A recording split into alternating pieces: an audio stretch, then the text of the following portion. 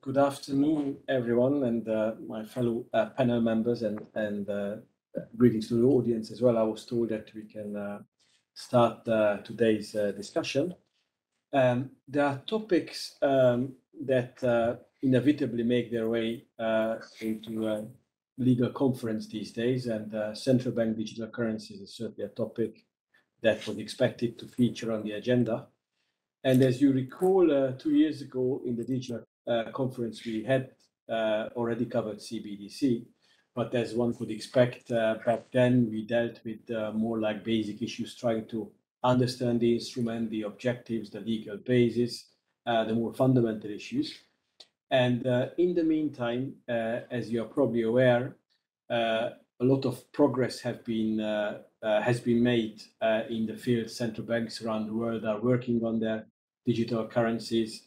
Uh, the uh, euro system and the ECB uh, is also very active with the preparatory work, even if more with internal preparation than with the press releases or, or reports these days but certainly a lot of a lot of field was covered in the legal field. So in a way, as a reflection of this, a more mature, a more advanced topic is the subject of, of today's conversation, which is the interoperability of uh, central bank digital uh, currencies, i.e., how we can fit this uh, new species into the international payment ecosystem. And um, we um, and and it just shows that it's already a topic that is more advanced that will really be relevant in the design stage. We're already uh, um, thinking of the actual application of the of the instrument. And today we have exactly the right panel to tackle this uh, important and, uh, and very technical uh, topic. I realize that it's in the job description, job description of every panel chair to be enthusiastic about the panel members. But uh, today I have the luxury to be very genuinely impressed and enthusiastic about our panel, who really just uh, uh, you know has the relevant experts, policymakers, and academics with with the relevant exposure in the field that could that could help us walk through uh, these all these all these difficulties. And in fact, uh, uh, all the panel members are actually in the position as well to to shape the uh, the agenda going forward. So it's not only a theoretical discussion we are having today. Our uh, first speaker is uh, Ross Leckow, who is currently serving as the acting head of the Innovation Hub at the BIS, which is a very uh, interesting and an impressive assignment. And, and uh, Ross also had already a distinguished career before, among other having been the Deputy General Counsel of the IMF. And I recall that in the stormy days of the sovereign debt crisis, we also had interaction in that capacity. Now, even though the times are not less stormy, uh, we have a different uh, uh, problem or issue to, to, to, deal with. Then our second uh, speaker is, is Jess Cheng who is a senior uh, counsel at the Federal Reserve Board of, of uh, Governors, where she specializes in a wide range of uh, payment system uh, issues, including central bank digital currency as well. And uh, intriguingly, Jess was uh, general deputy general counsel at Ripple, um, a well-known leading fintech from, from San Francisco. Uh, dealing with uh, all sorts of DLT issues that would also certainly come handy with uh, today's topic as well. Um, then Jess is followed by my colleague Panos, Panos Papapaschalis, uh, who is currently a senior uh, lead legal counsel at the uh, ECB's legal services, having been previously with the IMF and ESMA as well. And he's one of the leading experts in the field of CBDC at the ECB and also the Eurosystem, in fact, and he's absolutely instrumental with the legal preparations of the digital euro. So very pleased to have him as well uh, on the panel. And finally, uh, we need to have a distinguished academic as well. And uh, uh Professor Gruenewald, in the form of Seraina Gruenewald, we, uh, person of Seraina Gruenewald, we have uh, this person. And Seraina is a full professor at the University of Nijmegen dealing uh, with uh, financial and comparative law issues. And we also read it with very much interest his comprehensive work on the digital euro. I believe it was two years ago. so certainly well qualified to to tackle this. We, with the panel, we came up with the following plan uh, to, to deal with the matter. Our first speaker, Ross, would uh, deal with the conceptual setup and defining the main uh, uh issues and concepts and giving uh, a global overview of the of the uh, of the efforts to to tackle interoperability. Then the second two interventions will be more regional focus, so to say. Jess will cover the US issues and uh, if I understand correctly, uh, focusing on interoper interoperability between CBDC and cash and other uh, other instruments in the domestic uh, and namely US uh, context, whilst uh, Panos will in turn focus on the euro area and and tries to tackle the issue from the point of view of cross-currency, cross-border interoperability. And finally, uh, Seraina will have the noble task of identifying the conclusions of this of this panel and to identify the, the next steps, how we can already actively prepare. So uh, without further ado, then I would uh, pass uh, on the word to our first speaker, Ross. Thank you, Ross. Thank you very much, Otto. And let me begin by saying what a great pleasure it is for me to participate in this panel with such distinguished colleagues and friends I'd like to thank you, Panos, Chiara, and the ECB for inviting me to participate. As you mentioned, what I'm going to do in my uh, presentation is to talk about interoperability um, at, at the cross-border level and to take a slightly broader perspective to look at how CBDC um, can enhance uh, cross-border making of cross-border payments through interoperability and through some other techniques. I'm going to start with a, an overview of some of the key concepts and definitions. I will then look at how interoperability and different techniques can actually enhance the making of cross-border payments using CBDC. And then we'll discuss briefly the international framework for the making of cross-border payments and transfers and how CBDC might uh, fit into it. I'd then like to uh, briefly go through some of the actual experimentation that's being done at the international level to um, make interoperability a, a reality in a cross-border setting, with particular reference to the work of the BIS Innovation Hub that I, that I currently head. So against that background, uh, let's perhaps launch into the next slide. Before we talk about interoperability and how CBDC can enhance cross-border payments, we should remember why we're having this discussion. I think we all realize that um, the making of uh, cross-border payments, the current framework using correspondent banking relationships, is slow, inefficient, expensive, and opaque. And it's for this reason that the uh, G20 called upon the FSB and uh, a number of international stakeholders, including the BIS and its Innovation Hub, uh, to look at how um, these pain points could be addressed through a roadmap of actions called the G20 Roadmap for Enhancing Cross-Border Payments. Building block 19 of that, that roadmap, which we at the Innovation Hub co-lead, looks at how CBDC can actually make cross-border payments better, cheaper, and more efficient. Uh, moving to the next slide. You know, against that background, I think it's useful to look at some of the key concepts that we'll be exploring today in our discussion. First of all, I think we all know what a central bank digital currency is at this point, but basically a form of central bank money in digital format that's denominated in the unit of account of the jurisdiction that is a direct liability of the central bank. And our discussion will really focus on two different types of CBDC retail intended for general purpose use by households and businesses, and wholesale CBDC designated for access by financial institutions for certain specified purposes. The concept of interoperability itself, whether in a domestic or a cross-border context, I think can be um, explained as the technical, operational, and legal compatibility between systems that enables one system to be used in conjunction with another system. It can, it can involve some of the technical features, the technology underlying uh, the systems, semantic um, uh, compatibility, meaning um, the, the language and data formats that the two systems use, and finally, the business and legal rules governing the operation of the two systems. Moving to the next slide.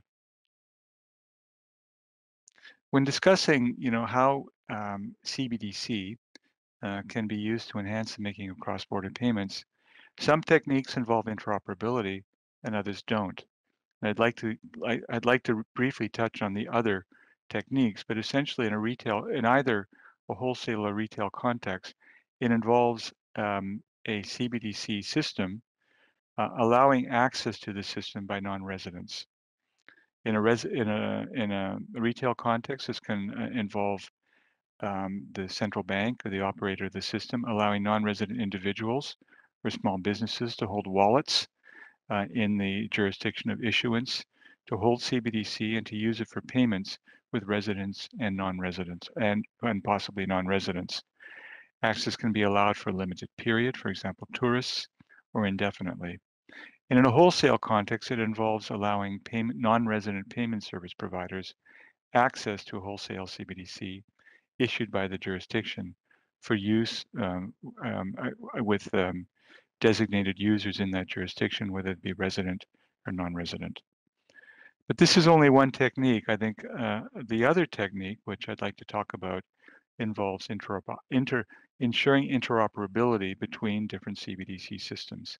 If we go to the next slide, I'd like to focus on two basic techniques of interoperability. The first interlinks different CBDC systems uh, located in different jurisdictions.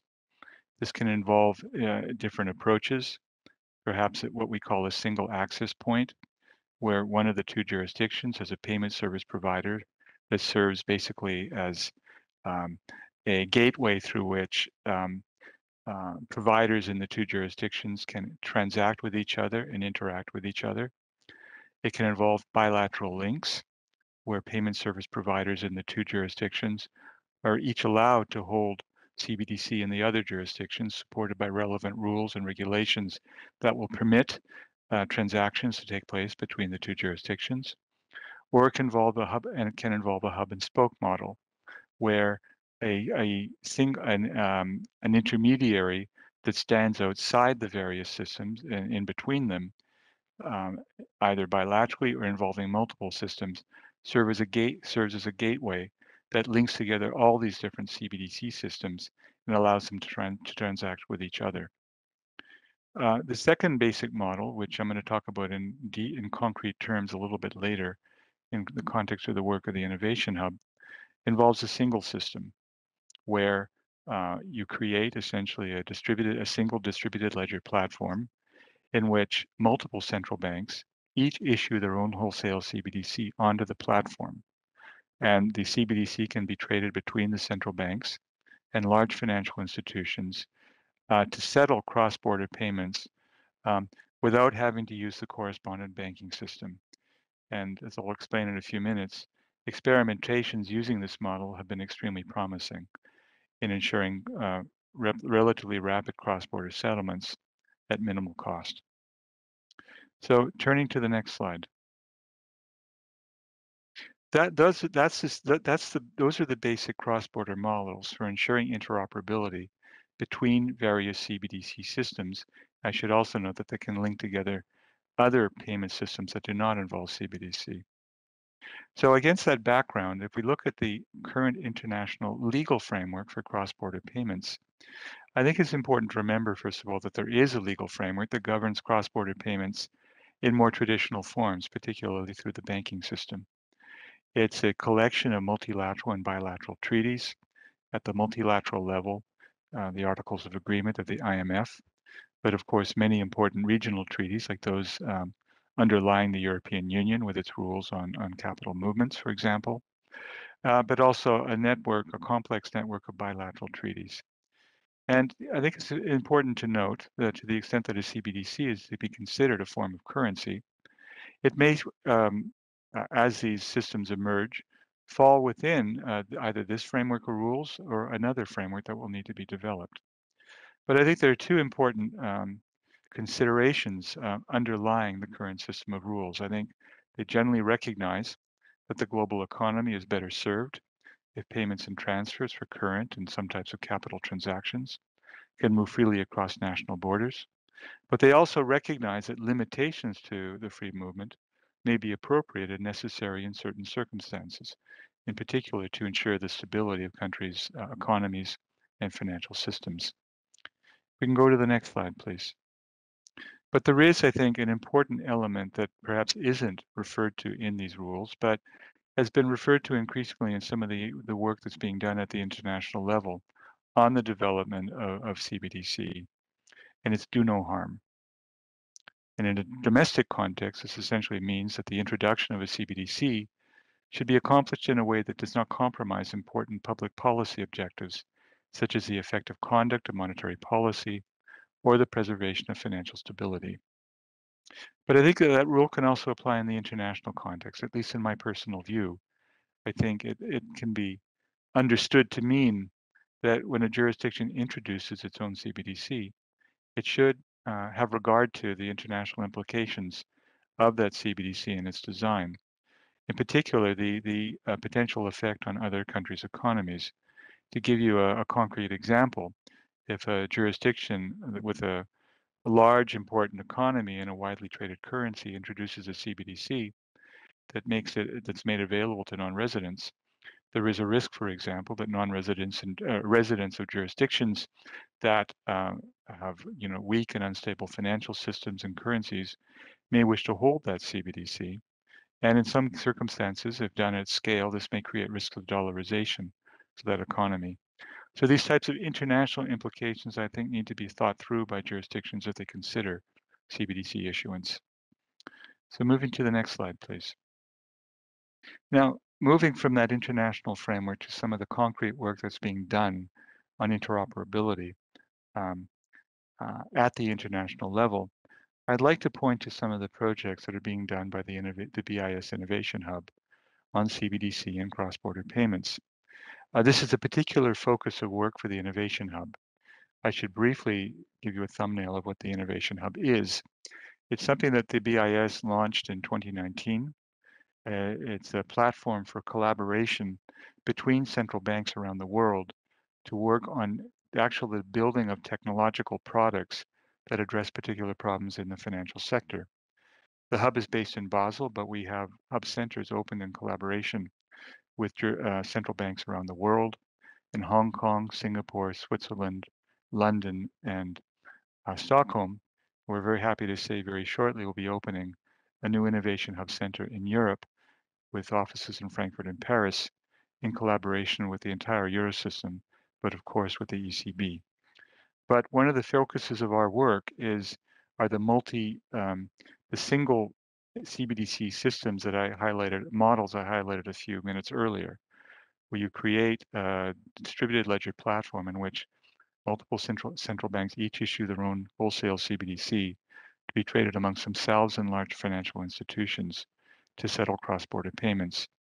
We currently have projects ongoing um, or have completed projects in Switzerland, Project Jura, um, uh, Singapore, Project Dunbar, and Hong Kong, Project mBridge. If we slip to the next slide, uh, these projects have all shown incredible promise in this type of model as a way of interlinking uh, national CBDC systems and other systems and settling cross-border payments quite quickly. Um, there are you know differences between these models, but there are also important similarities. They all make use of the same basic platform, uh, and they all allow, allow non-resident access to um, these CBDCs that are issued on the platform. There are many differences in terms of the use cases that have been tested, um, the types of distributed ledger platforms we've used, um, and some of the other specific features, but they also show all show incredible promise for this approach. Moving to the next slide. It goes without saying that putting a, pl a platform like this in place uh, with multiple central banks and uh, accessed by multiple stakeholders in different jurisdictions will involve a number of important legal uh, considerations that have to be addressed. It's safe to say, of course, that a robust legal basis is required for one of these platforms or for any uh, financial market infrastructure uh, for it to operate effectively. Um, these arrangements will have to uh, manage multiple legal and regulatory frameworks um, um, based in the different relevant jurisdictions uh, not only with respect to access to the platform, but things like money, anti-money laundering uh, rules, uh, data protection frameworks, etc. And this involves complexity that will have to be managed. Um, the changes related to the issuance and transfer of CBDCs and concepts of finality and validity of settlement will have to be resolved, in particular through the development of rule books, contingency procedures, and monitoring capabilities that will help address some of these challenges. Uh, moving to the next slide. Of course, closely related to the legal aspects will be important governance uh, considerations that uh, particularly will involve um, the uh, central banks that are participating in the platform. And there'll have to be commonly agreed a, govern, a commonly agreed governance framework that determines rules, rights, and obligations of all parties. For example, uh, control over the issuance and destruction of CBDC by particular central banks. And the governance arrangements underlying these platforms um, will include different levels of rules to balance flexibility and standardization. Rules applicable to the entire system, for example, access to the system, jurisdiction-specific rules respecting access to a particular CBDC, and uh, rules respecting things like um, currency controls that I referred to a little bit earlier. Uh, moving to the final slide. To conclude my presentation, I think it's early days with respect to the international work on the use of CBDC to enhance cross-border payments. Interoperability will certainly be an important element in advancing this work, but it's only one part of the bigger picture uh, involving other techniques. Uh, technical work will have to, well, a great deal of technical work will have to be continued with a focus on the technology and uh, technological design of different models, but a lot of legal work as well uh, uh with respect to the rules governing cross-border payments and the design of particular models to appropriately meet the objectives of the policymakers that the policymakers assign to him, uh, to them rather. And of course, an important underlying consideration will be do no harm to ensure that the issuance of CBDC and the interaction between different CBDC systems meets the um, uh, policy objectives and the interests of the jurisdictions interesting them, uh, in, uh, issuing them, but also of the system as a whole. I'll stop there. Thank you very much. Thank you very much, Ross, for having covered uh, so many important issues so clearly in such a short time. And uh, I was fully confident that uh, the most difficult job of the chair to keep the time I don't need to care about because you're very disciplined with this. So thanks a lot. Uh, I understand that uh, there would be questions, but we will tackle them after um, after all the speakers uh, spoke already. And uh, it's it's now time to move to our second speaker, Jess, who would uh, who would tell us about uh, the U.S. domestic context and the and the cross-product issues, if I understand correctly. Jess, it's over to you. Thank you. Um, I'll, I'll go, Ross's thanks for having me here today. Um, what I'll do for my intervention, I'll build on Ross's presentation a bit by zooming in on the domestic payment system and the concept of in legal interoperability is embodied there. Um, I should note that the views I'll express are my own uh, and not those of the Federal Reserve System or the United States. Uh, next slide, please. As Ross laid out, excuse me, um, the concept of interoperability, it includes important legal dimensions, in particular, to support operational aspects like the transferability and the convertibility for a cross-border CBDC. And as we think through the future evolution of the international framework, including the legal foundation for various cross-border CBDC arrangements, it could be useful to think through to consider how the system currently works today and why it is. How the concept of legal interoperability is already reflected in today's domestic payment system. And this is especially relevant to the important principle of do no harm, as Ross laid out. Uh, do no harm to what exactly? So I'll be turning to the US payment system to discuss these topics, just as a point of comparison. But I imagine the core concepts will probably resonate with the European system too. So today, as everyone knows, the payment system, it's a public-private partnership working in two tiers. On the central bank balance sheet, you have cash and also master account balances of banks with the Fed or the central bank. And just briefly, uh, parties can tra transact in central bank liabilities with confidence in their acceptance and the lack of credit risk, as we all know. And the more parties use and transact in central bank money, the more useful it becomes. In a virtuous cycle, more parties will want to use it in more transactions, and this is known as network effects, which bring efficiencies. But as we all know, cash holdings by the general public, they're relatively small. Rather, it's deposits at private sector commercial banks that are by and large the more prevalent form of money held by the public.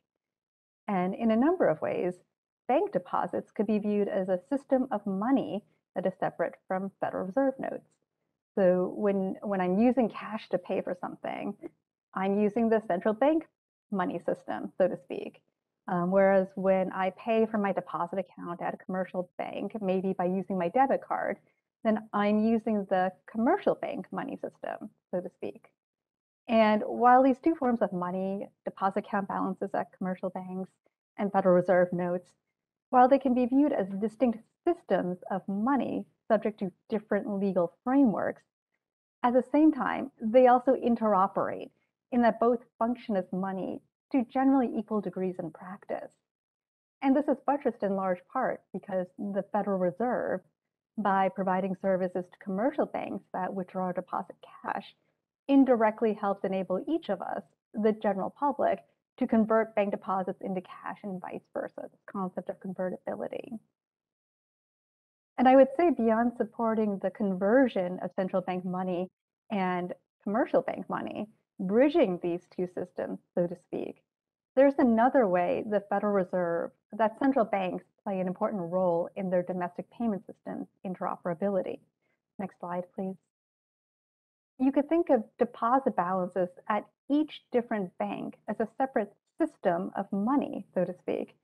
For example, all customers that have accounts at Citibank could be viewed as users of the Citibank system, whereas all customers that have accounts at Bank of America are users of the Bank of America system.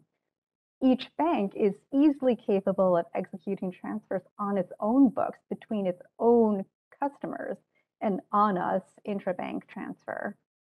But what about those transfers between customers of different banks? Um, suppose a customer at Citi wants to make a payment to a customer of Bank of America. Um, Citi debits the account of its customer, Bank of America credits its customer's account. But how do Citi and Bank of America connect with each other? This is where the Fed, or central banks, play an important role the accounts and the payment services that the Federal Reserve provides, those services help to bridge these individual bank systems and allow them to interoperate, so to speak.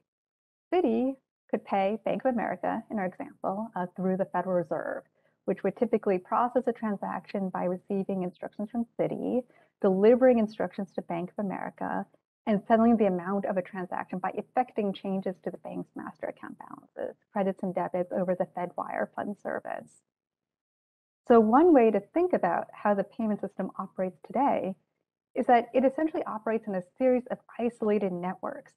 Banks operate their own individualized networks with their own customers, with systems like the Fed system as hubs that link them all together. Next slide, please. So it's no insignificant matter when the Federal Reserve expands its network. For example, as Congress did in 1980 when it amended the Federal Reserve Act to broaden the Fed's authority to make all depository institutions eligible for Fed accounts and services. This expansion brought non-member banks, particularly thrifts and credit unions, into the network. And that historic instance it's what created nationwide reach for today's ACH system, particularly because the Fed could interoperate with other private sector clearinghouses, which in turn gave value to the network that a single operator might not have achieved on its own.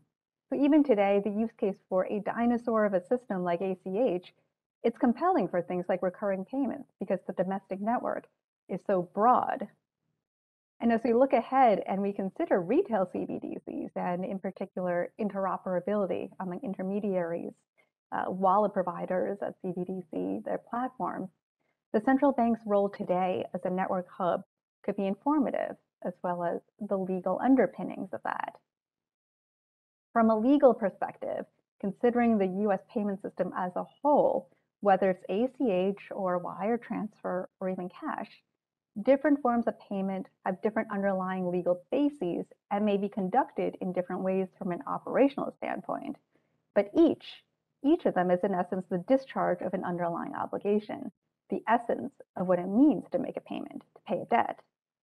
And this could be viewed as legal interoperability in the US payment system, so to speak. This ability for users to smoothly and efficiently choose between arrangements that are subject to different legal frameworks, but at the same time, be confident that the arrangement will, like all forms of money, serve as a way to make a payment. And this brings even more efficiencies to users. It amplifies the network effects of each individual payment system. So taking all this together, though complex, the payment system is able to function smoothly and safely, largely because of the central bank's role as a network hub that supports the safe and efficient interoperation of the system's component parts. And from a legal perspective, again, although different legal bases underpin different arrangements, US payments law as a whole, that is, commercial law, the regulatory regime, and the supervisory framework, what it does is provide certainty and predictability that one dollar has a singular meaning in whatever form it takes. And now, as we're considering new forms of money, central bank digital currencies, well, the legal characterization of a CBDC, particularly if it is a sui generis asset, asset and the role of the intermediaries, the platforms that they'll provide to, uh, to support the holding and transfer of CBDCs, these considerations will have important implications. In the US, investment securities went through a similar process decades ago, moving away from paper to electronic records. But here, we're in the realm of money. A retail CBDC would not necessarily serve the payment system, the general public, well if it results in new services that are poorly understood by the general public and do not interoperate well with existing forms of money, including from a legal standpoint. So a critical question, an important consideration from a domestic standpoint is how to integrate any CBDC in the existing payment system. The questions of the day around the CBDC interoperability at a domestic level, how to allow CBDC payments between users of different wallet providers and intermediaries, for example. This is not necessarily a new problem, and the Federal Reserve's role as a network hub has long served as a strong foundation for interoperability in the US payment system. Useful lessons could be leveraged from the historic evolution of payment systems and the policy considerations at each uh, decision point, rather than reinventing the wheel to create a duplicative network for digital cash, which could in turn introduce new inefficiencies. And in particular, how a given jurisdiction chooses to reimagine its central bank's network with a CBDC that will, of course, have a critical impact on interoperability from an international standpoint. Thank you. Thank you very much, Jess, uh, for this important history lesson that uh, we'll discuss uh, thereafter. And uh, now uh, I'm turning to Panos, who would uh, continue the topic from the euro area point of view.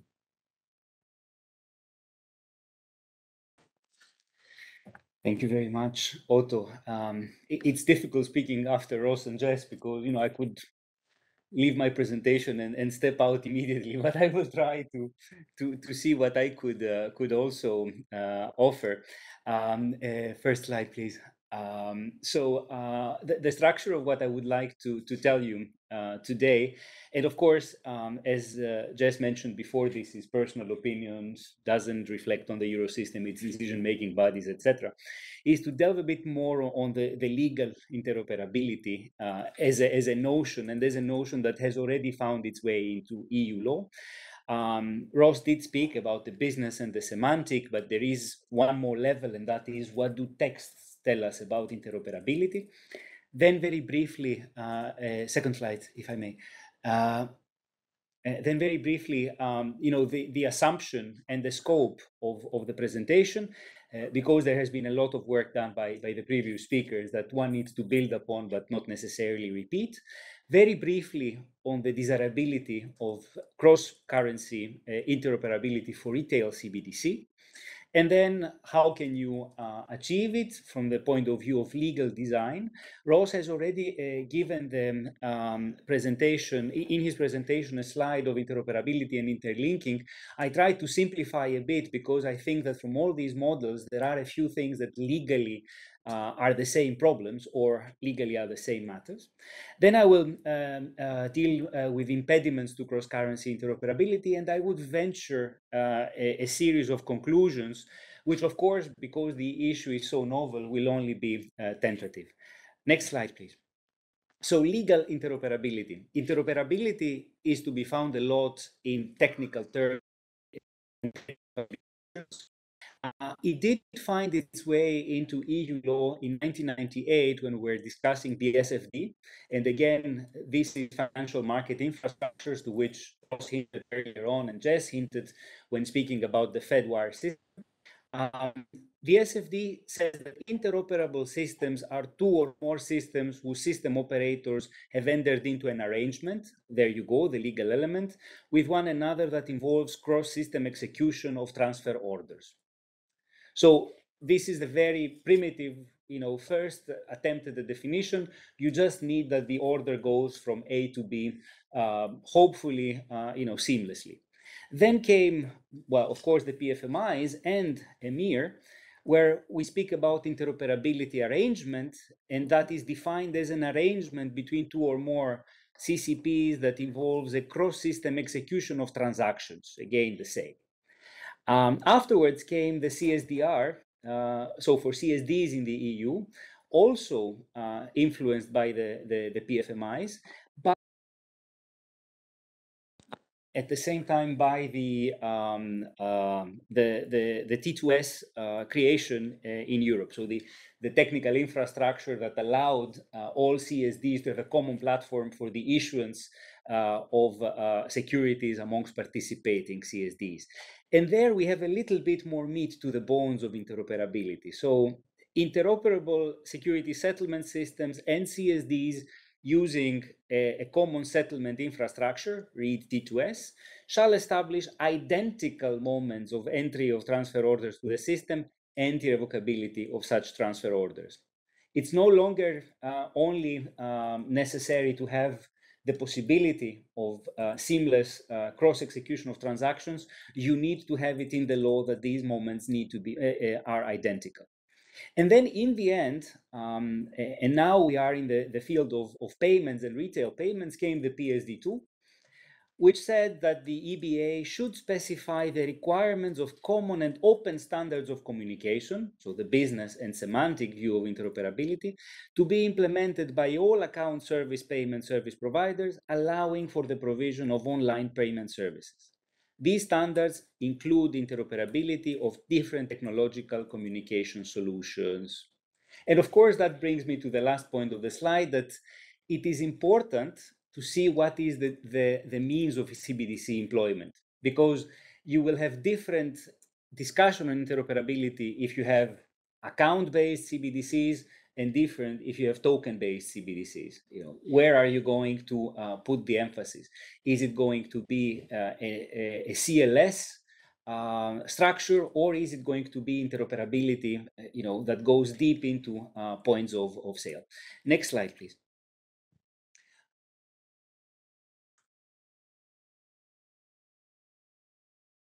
Thank you. Uh, so the, the, the, initial assumption is that we are speaking about a retail CBDC um, that has legal tender. Why retail CBDC? Because we already have an arrangement at wholesale level, and, and that's called CLS. Uh, you know, you, you could um, uh, say a lot about it. Uh, you, you, could um, uh, say that not everyone is in there, but of course, the, the, the, legal arrangement for clearing of these complex forex transactions already exists. Why having legal tender? Um, well, if a means of payment is not legal tender in its own jurisdiction, it would be very difficult conceptually to see it promoted uh, cross-border. Uh, and then uh, I'd like to, to uh, speak about the things that I will not cover, but for which there is a good reason. The first is interoperability between different forms of uh, currency. Um, you know, legally, I believe that this is fungibility. One digital euro one um, euro coin, uh, one euro banknote if it existed. So uh, because they, they are fungible, they need to be interoperable. Uh, in this case, the, you know, the, the legal reality should constrain the technicians to find a way to ensure this interoperability. The other part is the use of domestic retail CBDC abroad. Um, in international law, you have lex monetae, which means that in your jurisdiction, this is your legal tender. You might need to uh, expand a bit the lex monetae because now we can. Uh, it would be possible, for example, to say that citizens, even if residing abroad, can transact and they need to make uh, to be made um, uh, able to, to transact in the CBDC of, of their jurisdiction. But this again is a, a different issue. And the last issue, which I, you know, I wouldn't want to treat, is the interoperability between CBDC and private issued digital assets, because this is something that Jess uh, treated already in her presentation, and because in the end it's just the coexistence of the CBDC system with a wider payment ecosystem. It is something that, you know, as previous speakers um, underlined, we have been doing already. Call it Fedwire, call it Target, it is a, a, function of the central bank to catalyze the market and to provide this kind of, of interlinking. Um, next slide, please. Why are we even speaking about interoperability? Um, well, because interoperability means interconnection, and if you connect the central spoke of the uh, central bank issued currency, all the rest will follow suit. So what Jess was uh, saying um, before about the national payment systems. And of course, and this is something that in sanctions uh, uh, times we shouldn't be forgetting, whatever be, can be connected can also be more easily disconnected. Um, you know, imagine a discussion on uh, sanctions of a particular jurisdiction if all currencies digitally, retail, were connected into a central spoke or issued through a central infrastructure and how easier it would be than discussing, you know, can we intervene at the level of SWIFT, etc., etc. So that is another uh, thing that one might need to uh, consider when designing interoperable systems. Uh, next slide, please. The legal design. Um, Ross has already had a, a very elaborate um, presentation on interlinkage and interoperability, but I think that we could, um, or I would like to synthesize uh, a bit and speak about three potentials. Um, the first would be a single global point of, of issue, uh, like a central infrastructure for all retail CBDCs, um, which you know we, we currently have in Europe for securities, and that is T2S. Um, you know, everyone, uh, there is a common platform to which functions are outsourced, but still um, the issuer is of the security is the local participating CSD. Similarly, the issuer of the digital currency would be the jurisdiction um, uh, of issue. Um, is it realistic? Um, well, it will be very difficult because it would need to you know, possibly comply with uh, all the um, uh, mandatory law provisions of all the participating jurisdictions. Um, it would also need to have one applicable law. And, you know, I would already see quarrels about what this applicable law would be. Um, operational wise, um, it could be, uh, and I don't want to prejudice, uh, you know, the, the, the message that Ross gave before, but it could be perceived as a single point of failure. In, in times where cyber, cybersecurity is paramount, you know, it might be difficult to, uh, more difficult to attack more systems than simply one, after which you, you have control of, of all participating currencies. And the final point, the governance and the control. Introducing new members, taking new members out, you know, payments, families normally quarrel over money, uh, and this time in the literal sense. Then the, the, the other part is um, a central node. Uh, and for that, the inspiration would be the, the, the, CLS. So it is an exchange, if you will, of, of retail currencies. Realistic? Well, probably a bit more realistic because central banks keep a bit more autonomy. Uh, is there a single point of failure? There is, in the sense that it is the platform that um, controls the interoperability, uh, but of course, uh, you could have a, contingency solution. And in the end, uh, it is not the issue of the digital currency itself that is prejudice, it is just the interlinkage. And governance and control, you are bound to face exactly the same issue, but precisely because the scope is more limited, uh, potentially um, uh, also the uh, uh reaction and the pushback on, on governance could be tolerable. And then there's something else um, which is already uh, done currently, and that is bilateral agreements between CBs. Um, you know, the precursor uh, in instant payments in Europe, uh, as some of you might know, uh, we already have agreements with um, uh, non-euro area central banks that uh, make TIPS um, and TIPS payments available in their currencies and in euro as well. This is a contractual arrangement which gives it the possibility to make it tailor-made. So jurisdiction A, jurisdiction B might give different privileges and, and, and different limits. But of course, it fragments the, uh, the flow of um, uh, cross-border CBDC, of, of, of, retail CBDC cross-border, and, and, and from, from that viewpoint, it might be not uh, the most efficient way forward. Um, I, I, saved the first phrase for the end. Uh, legally, I don't think there is a general obligation to make currencies interoperable. Ross pointed to the IMF agreements and also with regards to the EU, to the EU treaty, speaking about um, a free movement of, of, of capital or, or no technical obstacles. But this doesn't mean that there is a positive obligation of interoperability. Interoperability would solve the equation in the most optimal fashion, but the possibility of exchange should be enough. Uh, next slide, please. Right. And now I have two sets of, of legal impediments that I would like to, to share with you for, for discussion. Um, the first slide is mostly institutional. The second one comes from the financial uh, commercial aspect. Uh, central bank mandate.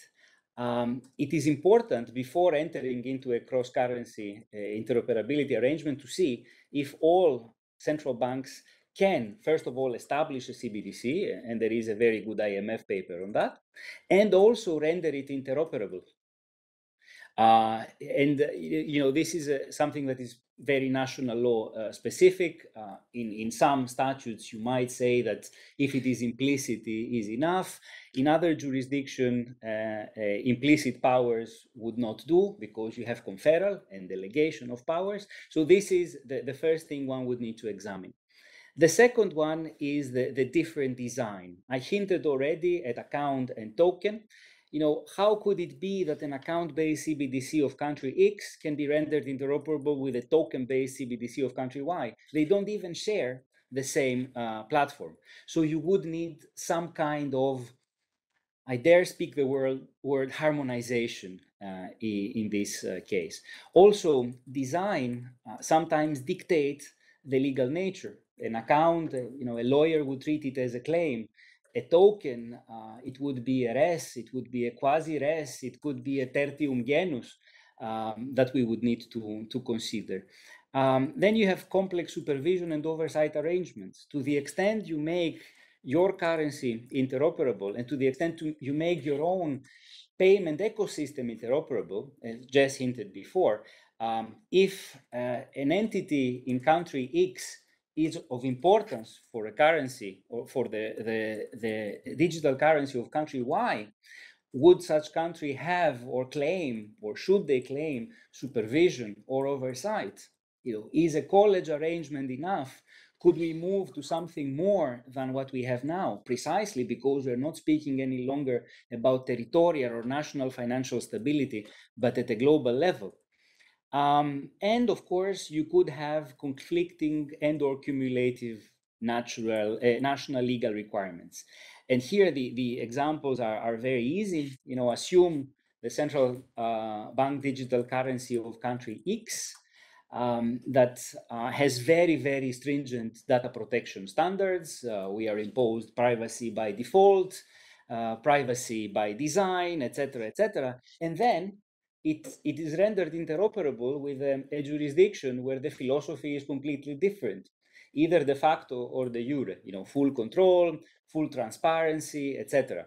Um, would it be possible? Uh, uh, to, to be more concrete, would it be possible to render the digital euro interoperable with a currency whose jurisdiction has a negative adequacy finding by the, the European Commission as regards data protection uh, to be seen.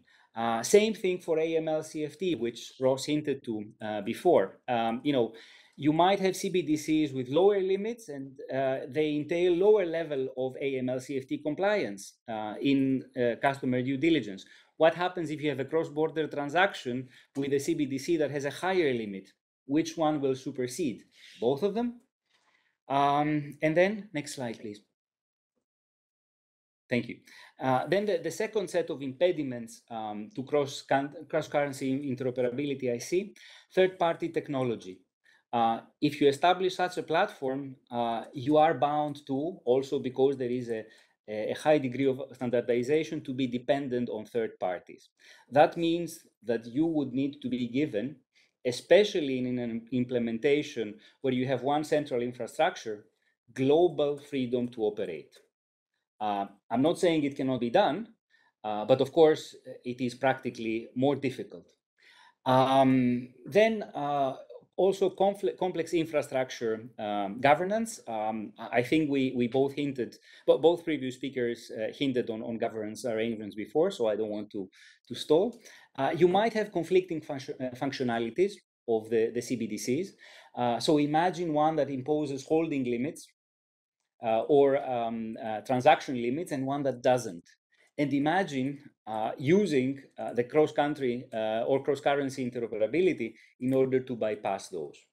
So you, you would need to find a way um, and, and this, uh, you know, in, uh, uh, in, in T2S, for example, we, we call compliance with own legislative requirements you would need to find a way, especially if you operate a central uh, infrastructure, to make it compliant with all limitations of all uh, relevant uh, legal orders.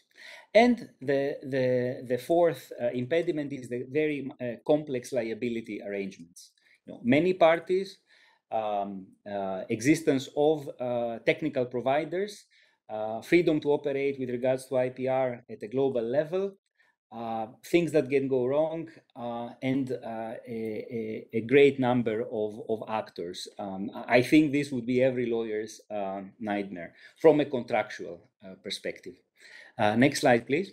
Um, so, you know, in view of, of the, the presentation of the design and the impediments, a few tentative conclusion, um, I tried not to speak about financial market infrastructures, but it is impossible because the inspiration comes from there. It is what we know. Uh, but it can only be an inspiration because some implementations of the digital currency might not involve a, financial market infrastructure as we know it. The second one is that the legal doctrine must align with political will and technological capacity. You know, lawyers running after technicians, uh, all the more uh, being true. Um, and in this particular case, we see it already because of the discussion in various jurisdictions about the legal nature of the, uh, the CBDC. You know, we move from the dichotomy of um, thing versus claim to, uh, you know, a tertium genus or a quasi-res. Um, and of course, you know, that's a truism. There are novel issues to be addressed, and their design and legal nature will be key. Um, whether we could have harmonization at uh, you know at global level to ensure interoperability, I am not sure. Um, I'm ending with a citation of a paper uh, by the CPMI, which although is old, you know, predates the whole CBDC discussion. I think is very topical. Cross-border and cross-currency payments are inherently more complex than domestic ones. And now put inside the complexity of CBDC, and then you know you realize why we spent the last hour talking about it. Thank you very much.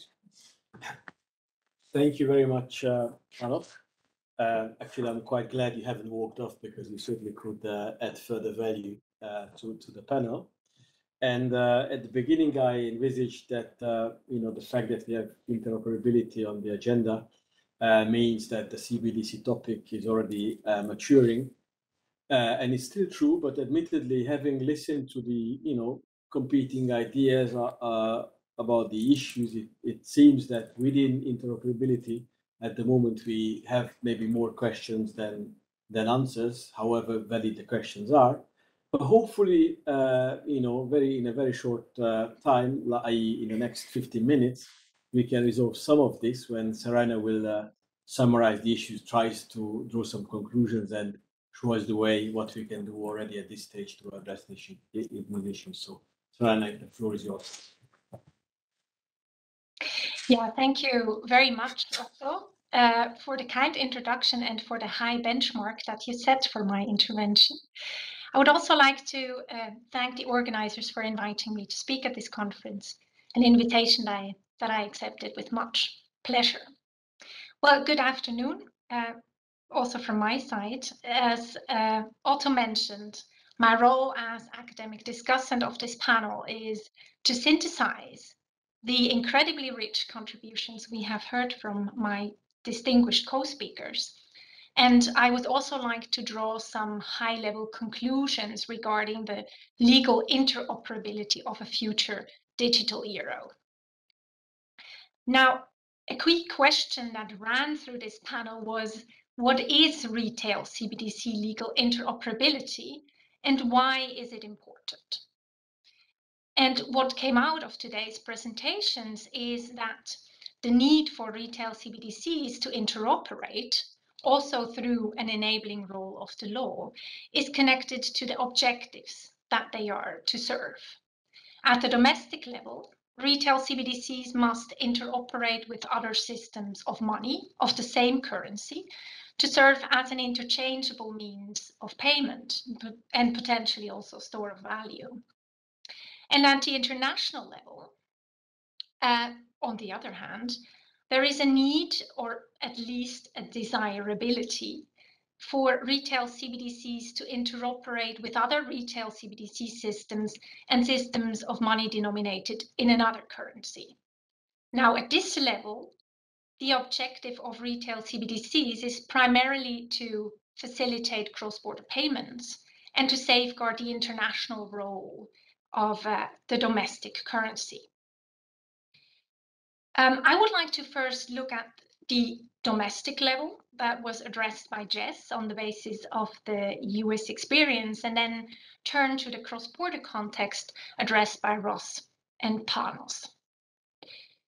Jess nicely set out how in the US's national payment system, different forms or systems of private and public money used by citizens and firms interoperate on the basis of a tiered uh, model.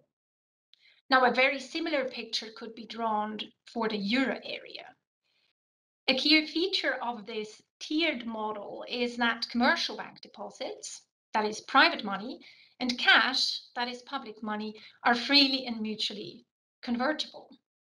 Cash serves as an anchor in this monetary system, and it ensures that all monetary objects denominated in the domestic currency circulate at par, independent of whether they're private or public money. Now, for citizens, this means that they can choose which form of money they want to use to transact a payment without encountering friction if the transaction crosses systems. With retail CBDC, a new system of money enters the scene. And jurisdictions that consider introducing a retail CBDC typically aim to provide the public with a digital equivalent and a, com a complement to cash. A key motivation for the adoption of a digital euro, for example, is precisely the declining use of cash which may weaken the function of cash as the anchor to other forms of money, in particular commercial bank deposits. Now, if a digital euro is to share that anchor function with cash, it needs to interoperate just as smoothly, or at least similarly smoothly, with commercial bank deposits as cash does. Users of the digital euro should, in principle, at all times, and without friction be able to change systems by transferring digital euros to their commercial bank accounts or vice versa by withdrawing funds uh, from their commercial bank accounts and transferring them to their digital euro accounts or digital wallets. And just like in the case of cash, cash deposits or withdrawals, users' funds would switch from being public money to being private money or vice versa. In principle, this conversion between retail CBDC and commercial bank deposits would take place at par. And I'm saying in principle because uh, I imagine that limits imposed on the holdings of digital euro would affect its free convertibility. Let us now turn to the international level that, as Panos said, adds a few layers of complexity to the discussion. And at this level, interoperability refers to the ability to transfer retail CBDC across borders and convert it into retail CBDC or other forms of um, fiat money denominated in another currency. Ross also mentioned the possibility for countries to grant non-residents access to their uh, domestic retail CBDC, which is different from creating actually interoperable systems. Now, in this rather unexplored territory that Ross and Panos uh, so bravely embarked upon, um, we can look to several precedents for inspiration, as Panos called it. Um, a first set of precedents are arrangements that are in place for cross-border and at least partially cross-currency wholesale payments and settlement. Panos explicitly mentioned CLS, uh, T2S, and uh, the target instant payment settlement system. A second precedent could be seen in the continuing experimentation with wholesale multi CBDC arrangement, which uh, Ross discussed. Now, all these precedents hint at potential high level models for connecting different retail CBDC systems. And they also hint at the many potential legal and operational challenges that cross border interoperability of retail CBDC would uh, involve.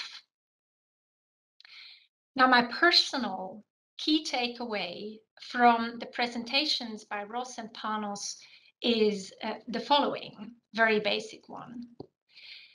As retail CBDCs are being developed as a domestic means of payment, at least uh, primarily, their potential future role as a vehicle for cross-border transactions should be kept in mind. Early reflection on uh, these potential operational and legal impediments is vital it ensures that there will be efficient cross-border interoperability once retail CBDCs have been successfully adopted in several jurisdictions. And it ensures that these retail CBDCs do no cross-border harm. Now, if I'm allowed to take a few more minutes, I would like to draw some conclusions on what is needed to render the digital euro legally interoperable. The digital euro is unique in the sense that it combines a domestic with an international dimension. It is domestic um, in the sense that it concerns one unit of account, the euro, and one central hub or balance sheet, the ECB or the Eurosystem, if you want. It is international in that it operates in a regulatory and legal environment that is only partially harmonized and where financial institutions are largely supervised at member state level. So against this background, I would claim that there are three broad and partially interconnected preconditions for digital euro legal interoperability in a broader sense.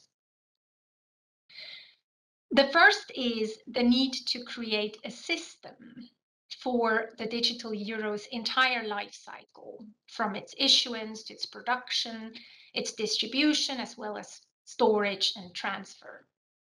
Now, much of the ultimate design of the digital euro remains open for the time being, of course, but it is likely that the system will involve financial intermediaries and or wallet providers in one way or another. A rulebook will formalize the roles and responsibilities of the ECB as the likely operator of the core system, commercial banks, potentially other service providers, and it will establish a governance structure and uniform rules for the digital euro system. On the basis of this rulebook, participating private entities will then have to establish processes and applications that are interoperable with the core system provided by the ECB. Now, I would argue that much of the creation of this digital euro system falls within the competence of the ECB on the basis of uh, its issuance power, Article 128 of the treaty. However, input by other EU institutions, in particular the co-legislators, will be necessary to render this system legally interoperable. And that brings me to the second precondition, the embedding of the digital euro in the EU's broader legal framework. And again, a detailed legal analysis remains difficult in light of the uncertain ultimate design of the digital euro, but it is possible to identify some key areas of EU legislation that will require reconsideration in anticipation of the digital euro. And Panos has highlighted some of them already uh, from a cross-border perspective. They include, and um, that is more by example than, than really conclusively, um, the prudential regimes for uh, private entities participating in the system. Some entities, such as wallet providers, may have to be brought within the reach of adequate prudential rules and supervision, for example, by making them payment institutions under the Payment Services Directive. But also existing prudential regimes may have to be adapted think of the licensing requirements for banks or the rules for their resolution in case they fail. Another broad area for reconsideration, uh, you won't be surprised, concerns the balancing between the need to be compliant with AML CFT requirements on the one hand and laws on data protection as well as privacy rights on the other. This has been mentioned before, so any data governance arrangements for the digital euro, whatever they may look like in the end, will have to be adequately brought in line with the requirements of the fifth AML directive, including its future amendments, of course, as well as relevant data protection regulations. But it is not only EU law that has an impact on the digital euro's interoperability. Member states' legal frameworks and traditions may vary quite considerably in their likely treatment of uh, the digital euro under private law, especially, as Panos mentioned, if the digital euro is issued under a token-based design. So, as a third precondition, there is a need to understand which legal impediments may arise for the interoperability of the digital euro from member states diverging private law regimes. This will facilitate a better joint understanding of the unique features of the digital euro, and it will allow for the development of uniform principles according to which its legal status could be harmonized. I dare uh, to use the word, at least to some extent, uh, across the EU. Just briefly, and then I conclude, looking beyond the EU's jurisdiction, such key principles could ultimately be enshrined in an international code of legislation, uh, similar to the Hague and Geneva Securities Conventions on intermediated uh, securities, um, that's not only a dream of us academics. Uh, there is already uh, work ongoing um, in the UNIDROIT project on digital assets and private law that covers uh, digital assets more generally, but it could provide a useful starting point. And with that, I conclude and I thank you for your attention. Thank you, Magdalena, for the very helpful uh, summary and, and conclusions, and certainly managed to to enlighten uh, some of the issues. It's of course admittedly also clear that uh, we'll be entertained with digital currency related work for years to come if you want to address all these issues that we that we listed here. Um, I understand now it's uh, it's time for for questions. So I encourage. Uh, I know it's more difficult in this digital format to to, ask questions, but certainly would uh, uh, encourage the audience to, to do so. And um, I understand that uh, that we already have uh, one question from Lara Pereira Pinto from the uh, ECB. Um, Lara, if you could kindly uh, ask a question. Yes, thank you very much, Otto. Uh, so I have two questions for our um, lovely panel, and thank you very much as well for your valuable insights. It was a very most interesting presentation to listen to this afternoon. So my first question goes for the entire panel. Uh, I would like to see your views on um, the fact that uh, um, basically uh, convertibility between cash and the CBDC is basically a, a considered to be a mandatory feature uh, from the different views expressed in the presentations. And uh, my question was uh, whether going forward and assuming uh, that would there would be a decline and a significant uh, decline uh, in use of, of cash, uh, whether you would see a possibility that this uh, convertibility between CBDC and cash would no longer be maintained in the future. Um, so this is the first question. And the second question, more addressed to Ross and Panos, um, it has to do with cross-border interoperability uh, at the international level. Um, my question is whether you would consider uh, uh, feasible to achieve this global interoperability at all. And what I mean is um, uh, how far along are we uh, to really see a truly global and single platform aggregating all of the CBDCs uh, come to light, um, given all the different uh, hurdles and technical and legal challenges that have come to light with your with your uh, presentations. Thank you very much. So I leave it to panel members who would uh, take up the questions.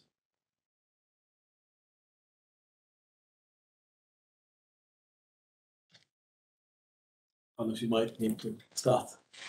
I, I, I have no problem uh, starting. Um, thanks a lot, Lara, for, for the questions. So the, the, the first one with regards to convertibility, um, again, assuming that they are legal tender, um, for me, legally, and I know I'm very rigid and dogmatic, but there needs to be a one-to-one convertibility, taking into consideration any holding limits that uh, you might have on on the, the, the digital currency, of course. Um, now, you know, I'm, I'm I'm not so naive so as not to know that the cash has a different cost than the digital currency, and also this convertibility will have a cost. Uh, and also the legal tender uh, implies the acceptance at full face value, which means with no surcharges, which means someone, um, you know, ends up holding the uh, the short end of, of, of the stick on, on this one, and it cannot be the the the end user. Um, but uh, you know, in the end, uh, it is a new project. It has its costs. We just one just need to find the the way of um, uh, allocating it uh, in respect of, of, of the principle of, of legal tender and also financial uh, reality. Uh, so it, it is a, a, question of technical uh, adaptability, uh, you know, as far as I'm concerned. And then the, you know, your second question, I would certainly hope so, but of course it all depends on the needs uh, of having cross uh, uh, currency interoperability, uh, cross currency, cross digital currency interoperability. Ah, it might be that some jurisdictions are not yet ready for it, but the technical possibility for them to be able to issue should be there. Um, maybe if I might uh, pick up on Panos's comments, which I, I, I certainly agree with, um, you know, with respect to the idea of creating some sort of global uh, framework, obviously, I think we need some more CBDCs out there to see how this might all fit together. Uh, but secondly, it's uh, it would be a it's be a long process that would require a lot of political will. Uh, what might perhaps be more uh, foreseeable, at least in um, the foreseeable future, would be the development of uh, payments platforms that that exist in different regions, potentially with their their link interlinkages, or something more ambitious than that. Just want to maybe pick up on one point that Panos made in his presentation, which I just want to express my agreement with you know, there's nothing in the current international legal framework for cross-border payments that would require interoperability between CBDCs or necessarily CBDCs at all, or CBDCs that can be used for cross-border payments. I think the important point is that as countries issue CBDCs, we need to consider the international implications and what types of rules should apply. So maybe I'll stop there. Thank you can just add um, to Ross and their perspective, you know, from a domestic standpoint. Um, and Lara, thanks for the great question. I would say convertibility between CBDCs and banknotes um, it's a policy matter um, that is viewed as a, a, worthwhile goal. It would not be a great outcome if CBDCs were issued and they were their own siloed, closed-off system of money. I think an interesting policy question related to that would be convertibility between CBDCs and commercial bank deposits um, or other balances that might um, that end users might hold with their wallet provider or their intermediary. Um, should there be limits there, for example, just to make sure that CBDCs as a central bank liability and the safest form of money um, doesn't completely supplant um, commercial bank money, private money in the system. Uh, we've talked about interoperabilities, um, you know, the efficiencies they bring, network effects, the positive sides, but there could also be um, downsides where, um, again, uh, central bank money dominates the system, or looking cross-border, dollarization occurs to the detriment of other jurisdictions. And that's where efficiencies, what interoperability brings, you know, maybe you don't want to take it to this maximum extent. Um, we've talked about limits, transaction limits, holding limits introducing inefficiencies to the system where interoperability is still there, but it's not as smooth and um, you know free flowing that would allow for these um, bad outcomes. Thanks.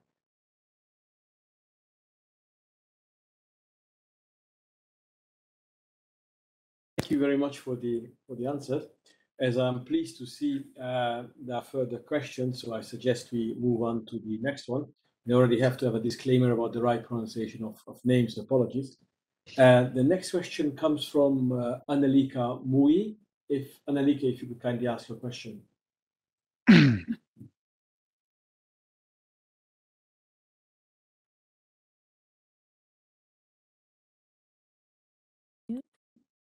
Okay, I think you can hear me. Yeah. Um, great. Thank you so much for allowing me to ask a question. I'm very interested in the digital euro.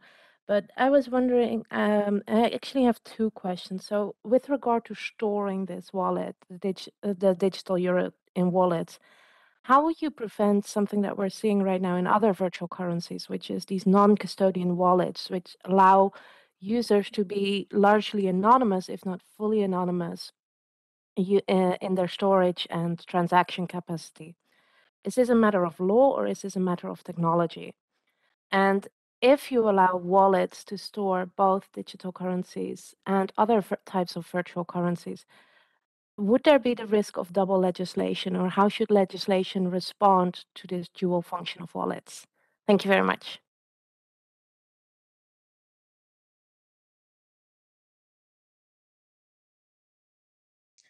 Again, who's the brave one? Seraina, shall I or would you? All right.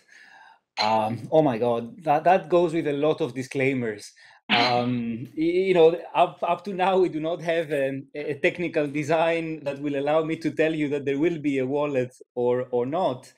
Um, whether you would allow anonymous wallets or not, you need to look at the AMLD as it currently stands in order to have an, a, an inspiration.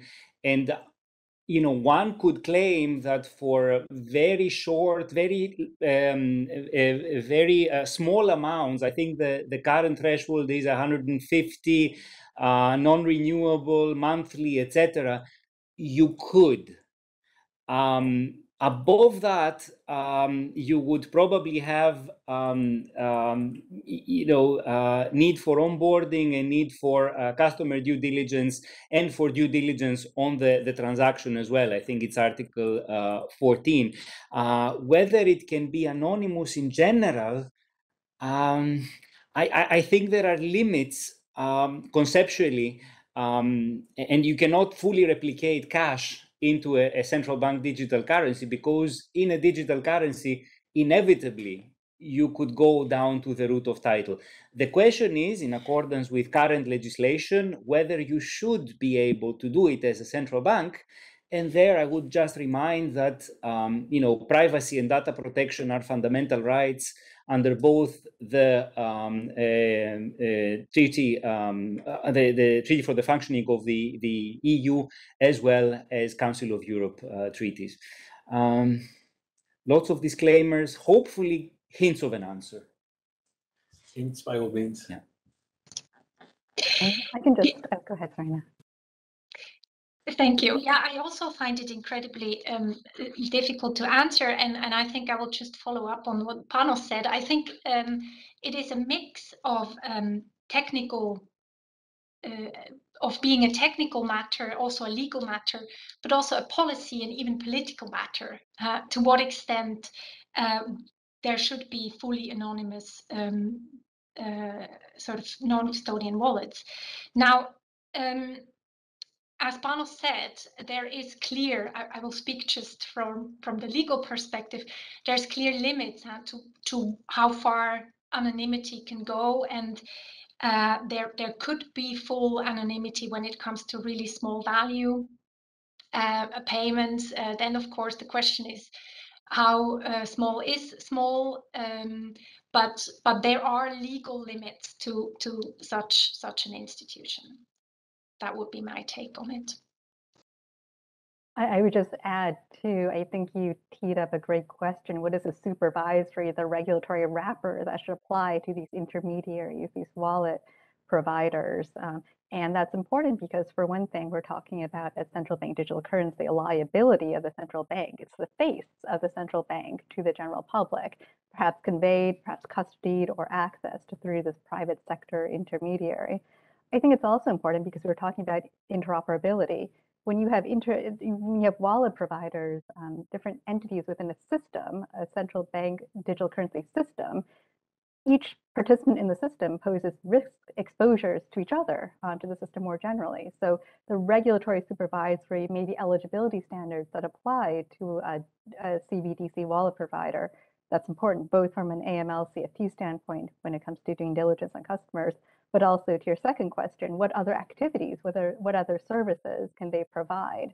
Um, one point, um, a point of comparison could be how banks, at least in the US, I imagine similar in the EU, are supervised today. There are legal permissibility limitations. They can't engage in anything they would like. Um, it's um, only certain activities that they may engage in for the benefit of being having a bank charter and accessing uh, Fed systems. There's also um, prudential safety and soundness um, supervision, um, and those are the guardrails that are in place.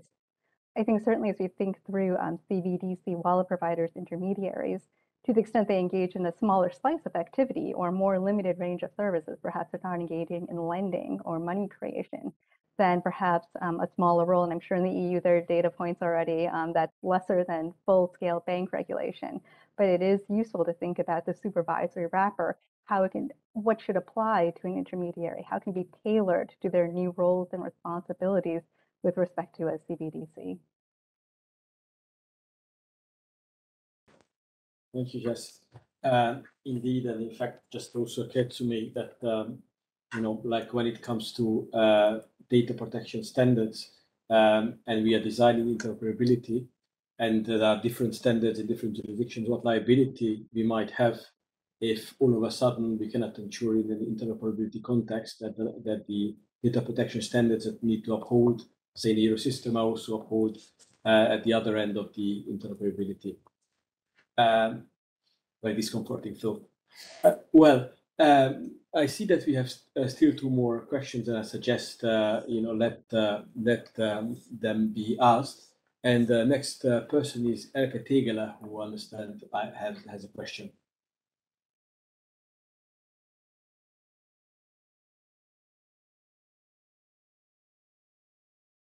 Hi, good afternoon. Um, in January 2022, the Euro Com European Commission published the European Declaration of Digital Rights and Principles for the Digital Decade, which is um, admittedly a political declaration. It's not a legal document yet, but some um, commentators see it already as a kind of Magna Charta for, for digital fundamental rights. And um, for those who are not familiar with this, um, one of the five points in this um, document, in the digital rights document, um, is promoting safer standards that give users the power over their data, safe standards that give users power over their data. So Panos already mentioned um, data protection, which, which is important, but um, I, to my mind, also comes the um, situation we have in Europe right now, um, Chiara mentioned it in her introductory comments this morning. We discover that we are highly dependent on non-European partners, for example, in the energy market. Uh, we probably don't want to discover later on that we are highly dependent on non-European partners who run a platform um, that runs a future digital euro. And as a European citizen, I think um, we all want to be protected from non-European partners who may have um, too big a say in, in, the technical run, in the technical setup of this um, future digital euro. And my my question would be, I mean, is this simply a policy choice, or could one argue with something more high level, maybe with fundamental rights, that we all, as European citizens, have a right that our personal data, not only our personal data, our data is, is protected from this, and how is this taken into consideration?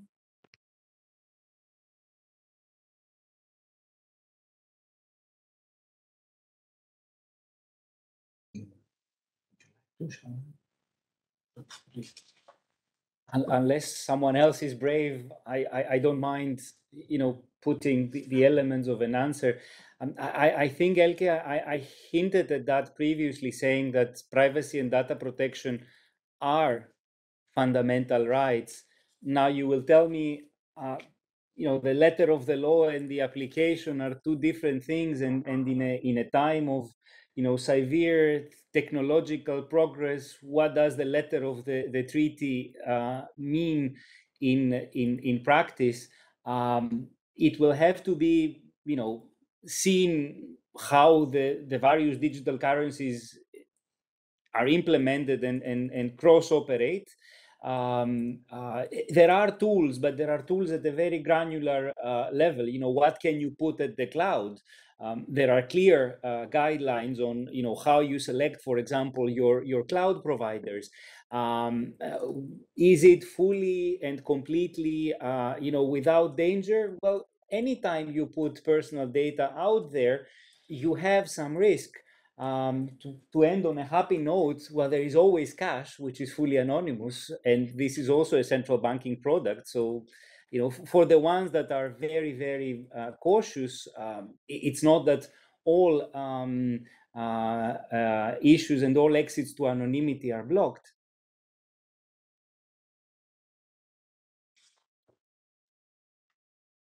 Thank you, Panos. Um, unless there is any intention to uh, continue the comments from, from the other panel members, then I suggest we move to the very last question, and if I understand correctly, Tonchitsa will uh, read it out. The lady is back. Claudia. Oh, is she? Okay. Well, uh, Claudia uh, Suarez would uh, would uh, answer her, her questions herself. Uh, sorry, so ask her question herself. Claudia, please.